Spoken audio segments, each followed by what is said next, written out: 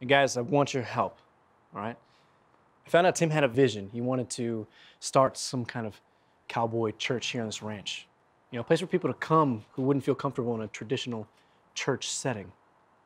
Thing is, his first service was set for next Sunday. This isn't a church. It's a concrete slab. You're the Faith Club after all. That's right. Amy, I want you to meet my friends Maria, Donovan, Justin. Guys, this is Amy. Hey.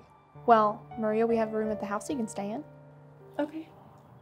Okay if the guys bunk with you, Chris? Yeah, unless you guys want to sleep in the stables. I just cleaned those up the other day. Well, meet us up at the house once you're settled in, okay? Come on.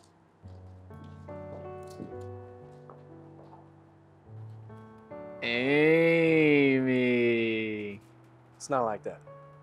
Oh, it's like that.